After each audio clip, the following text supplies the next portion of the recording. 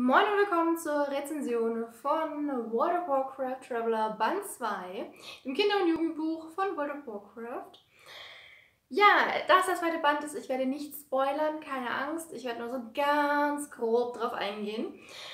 Und die Rezension zum ersten Band werde ich euch oben in der Ecke verlinken und in der Infobox auch nochmal, falls ihr nochmal wissen wollt, worum es überhaupt geht. Aber heute erstmal, wie hat mir der zweite Band gefallen und lohnt es sich weiterzulesen? In Anbetracht des zweiten Bandes würde ich nochmal bestätigen, dass ich das Buch ab 12 oder vielleicht sogar ab 13, 14, je nachdem wie weit die Jugendlichen denn so sind, empfehlen würde, denn es ist schon ziemlich kämpferisch natürlich. Wir sind immerhin im Warcraft-Universum und ähm, ich kann dazu sagen, dass der erste Band mehr Survival im Dschungel war und der zweite Band, obwohl wir noch im Dschungel sind am Anfang, ist dann definitiv mehr kampflastig, questlastig, abenteuerlastig und weniger ums pure Überleben. Weil da haben sie sich dann so langsam mal nach ein paar Wochen doch dran gewöhnt, weil sonst wären sie ja nicht mehr am Leben, ne? Also quasi geht die Story jetzt so richtig los und wir erfahren mehr und sind so richtig im World of Warcraft Universum drin. Der zweite Band schließt nahtlos an den ersten an und wir haben auch einige Rückblenden, sag ich mal, beziehungsweise es wird immer mal wieder erwähnt, was in so einem ersten Band ja vorgekommen ist. Und zwar einfach indem Aram, also unser Protagonist, nochmal in Gedanken durchgeht, was so passiert ist in den letzten Wochen. Sehr gut gelöst, dass man sehr gut wieder in den zweiten Band und die Geschichte eintauchen kann. Unsere Abenteuer rund um Aramadorn sind jetzt am Ende von Feralas angelangt, wobei es noch einiges in Feralas spielt. Also ich würde schon sagen, so das erste Drittel oder so ist noch in Feralas. Ähm, übrigens, wenn ihr wissen wollt, wie es dort aussieht, es gibt zum einen, das habe ich nämlich im Lesemonat bzw. im Monthly Reading gar nicht mehr gesehen gehabt oder übersehen gehabt. Es gibt eine Karte von Ferelas Tausend Nadeln und dem nördlichen Tanaris zusammen mit Gerd Gezahn. Ähm, ansonsten könnt ihr einfach die Worte, ich schreibe sie euch einfach hier an die Seite, mal auf Google eingeben in der Bildersuche und dann findet ihr auch die Karten dazu und diverse Screenshots, weil das ist original aus WoW, dem Videospiel, übernommen und auch die, ne, da komme ich jetzt nachher nochmal drauf, aber auf jeden Fall ist es sehr nah am Videospiel, was ich sehr gut finde.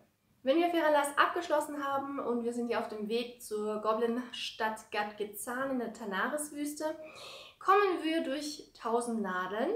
Wie der Name schon sagt, das ist eine überflutete Schlucht voller Nadeln. Also diese Schlucht hatte halt sehr, sehr viele Steinsäulen, die riesig waren. Und durch die Überschwemmung haben wir jetzt quasi ein Meer voller Felsnadeln und deswegen der Name Tausend Nadeln. Auf diesen Felsnadeln leben auch Tauren und teilweise auch Stacheleber. Genau. Und die befinden sich schon ewig lange im Krieg und das nimmt auch einen sehr großen Teil dieses Buches ein. Weil wir müssen ja erstmal irgendwie über diese Schlucht kommen, richtig? Ich finde, Greg Weisman hat im zweiten Band es besonders gut geschafft, das WoW-Feeling in dieses Buch zu holen und einen hineinzuwerfen in diese ganzen Geschehnisse, Bündnisse, Verfeindungen. Und er hat auch tatsächlich die Originalquests aus dem Spiel genommen oder zumindest sehr, sehr ähnliche. Aber ich meine, ich habe das genauso schon mal gespielt ähm, und hat diese halt in dieses Buch gepackt, was ich wahnsinnig gut finde. Es hat so Spaß gemacht, dieses Abenteuer mitzuerleben. Und ich habe jetzt tatsächlich richtig Lust, tausend Nadeln durchzuquesten, weil ich wissen will, wie nah am Videospiel dieses Buch jetzt wirklich ist. Es war auf jeden Fall sehr schön und gerade für Neuansteiger, die noch kein World of Warcraft gespielt haben, ist es ein sehr schöner Vorgeschmack auf die Quests und wie sie so aufgebaut sind. Genauso ganz, ganz viele ähm, Völker wurden hier wieder beschrieben. Von Hochelfen über Tauren, über Harpien, Stacheleber, Lich, Goblins, es ist so ziemlich alles dabei. Also es gibt mehr als genug High-Fantasy-Wesen zu entdecken. Und tatsächlich hat er auch den typischen World of Warcraft Humor mit einbezogen, was einfach grandios war.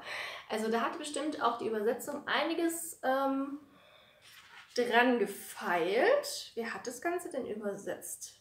Äh, Andreas, oh Gott, Kasprak? Nein, Kas, Kasprzak? Oh Gott, oh Gott, Entschuldigung, ich kann es nicht aussprechen. Und die Illustrationen, die sind auch ganz wichtig, sind von Aquatic Moon.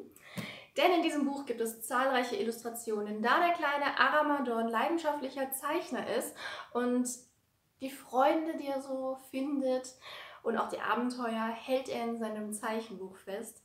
Super schön. Jedenfalls, während wir der Hauptquest nach Gatgezahn zu kommen folgen, haben wir zahlreiche Nebenquests, die wie gesagt sehr nah am Original sind, wenn nicht sogar das Original. Und ich kann nur sagen, es ist wirklich von Yetis über verrückte Stacheleber bis hin zu Schnellbootrennen alles dabei. Also langweilig jetzt definitiv nicht.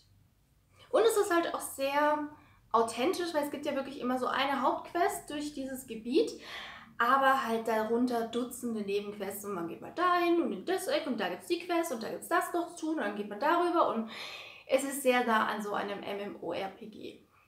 Was ich sehr schön fand, ist, dass der kleine Aram wirklich über sich hinauswächst und langsam erwachsen wird und sich gegen jedes Vorurteil von anderen Völkern einfach mal hinwegsetzt, sich ein eigenes Bild macht, versucht für Frieden zu kämpfen und dabei zahlreiche Freundschaften knüpft und Streit schlichtet. Und es ist einfach so schön zu lesen.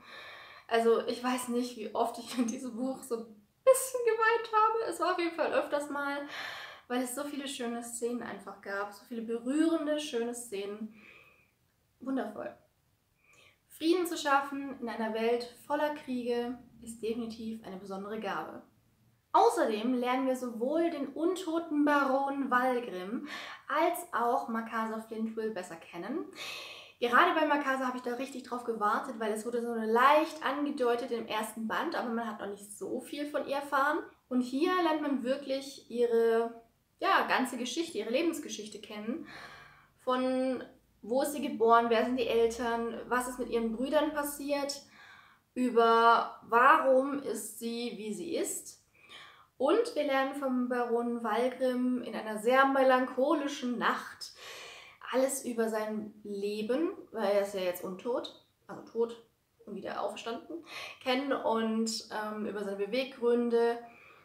Wobei ich nicht ganz verstanden habe, warum er geworden ist, wie er ist, weil das, was er zu seinen Lebzeiten war, dachte ich, müsste eigentlich mehr auf sein untotes Dasein sich auswirken, aber irgendwie nicht.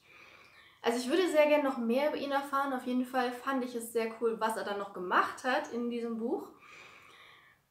So schlecht scheint er gar nicht zu sein und ich bin tatsächlich kein Freund der Untoten, aber ich muss zugeben, ich mag diesen Baron verdammt nochmal. Er hat so einen tollen Humor, er hat gleichzeitig so eine Melancholie, die einen mitreißt und er ist halt einfach witzig. Ich weiß nicht, ich mag ihn irgendwie total. Über Zatra, die Trollfrau, lernen wir auch ein bisschen mehr kennen. Die spielt auch eine größere Rolle hier. Aber nicht ganz so viel. Wobei man natürlich über die Hintergründe der Trolle mehr erfährt. Das fand ich natürlich auch sehr cool, dass das sogar auch noch hier Platz gefunden hat. Also man hat wirklich einen Rundumschlag von allem quasi. Man braucht übrigens keine Vorkenntnisse von WoW, weil diese Charaktere komplett erfunden sind. Ich habe tatsächlich auch ähm, das Heimatdorf von Aram nochmal ähm, besucht und geguckt, ob da vielleicht doch seine Familie tatsächlich im Spiel vorhanden ist, aber nee, leider nicht. Die einzige Person, von der ich definitiv weiß, dass es sie im Spiel gibt, ist der Goblin Gaslow. Der ist weltberühmt, sage ich mal, auf Azeroth und allen anderen Ebenen dieser Galaxie, sage ich mal weil er einfach ein unglaublich guter Goblin-Mechaniker ist, der öfters mal gebraucht wird. Und ansonsten sind die Charaktere, glaube ich, alle erfunden. Ich würde vielleicht noch ein paar äh, Nachforschungen anstellen wollen zu Makasas Familie. Da könnte ich mir vorstellen, dass es die wirklich gab, aber man braucht auf jeden Fall keine Vorkenntnisse. Es wird alles erklärt und beschrieben, was natürlich sehr gut ist für ein Kinderjugendbuch, denn die meisten haben wahrscheinlich noch kein WoW gespielt. Zum Schreibstil möchte ich noch anmerken, es ist einfach unglaublich genial. Wie bei den ganzen Perspektivwechseln, weil wir haben nicht nur Arams Sicht, wir haben auch mal, ich denke, Makasa, Drella, äh, die Piraten haben wir, den Walgrim haben wir, ähm, die Trollin haben wir, den Oger haben wir. glaube, wir haben sogar die Goblins sogar und ansonsten halt auch immer bei der wörtlichen Rede. Wechselt nicht nur die Sicht, sondern wir haben einfach bei jedem verschiedenen Volk den passenden Dialekt und das war absolut genial. Also der Oger denkt und spricht wie ein Oger, genauso abgehackt zu diesem Dialekt. Die Trolle haben den Trolldialekt, der Goblin hat den Goblin-Dialekt und die Goblin-Sprüche. Und das ist einfach so genial beim Lesen. Ich, ich finde es einfach nur grandios, dass er daran gedacht hat, dass die alle unterschiedlich sprechen. Hammer. Einfach nur Hammer. Und ich glaube, das ist so das absolute Highlight aus dem ganzen Buch für mich. Ja, deswegen wollte ich das nochmal erwähnt haben, weil das ist einfach grandios. Insgesamt auf jeden Fall ein wundervolles Buch über Freundschaft, gegen Vorurteile mit sehr vielen Fantasy-Wesen aus der World of Warcraft. Und demnach extrem zu empfehlen. Und falls ihr jetzt Interesse daran habt, dieses Buch zu lesen oder schon gelesen habt, bitte schreibt mir das in die Kommentare. Ich würde mich freuen, von euch zu lesen und ein bisschen über dieses Buch zu schwärmen vielleicht. Ja, ansonsten, wenn ihr ähnliche Bücher kennt oder vielleicht vorhabt, WoW-Bücher mal zu lesen, dürft ihr mir das natürlich auch gerne schreiben oder Fragen stellen. Auf die Frage, wo man am besten anfängt bei den WoW-Büchern, ganz klar entweder bei World of Warcraft Traveler oder bei der Krieg der Ahnen-Trilogie. Also die ist so 10.000 Jahre vor dem Originalvideospiel. Also wo sollte man sonst anfangen? Darauf basiert ja alles. Und ja, das war's von diesem Video. Ich hoffe, es hat euch gefallen und weitergeholfen und viel Spaß beim Lesen und bis bald. Tschüss!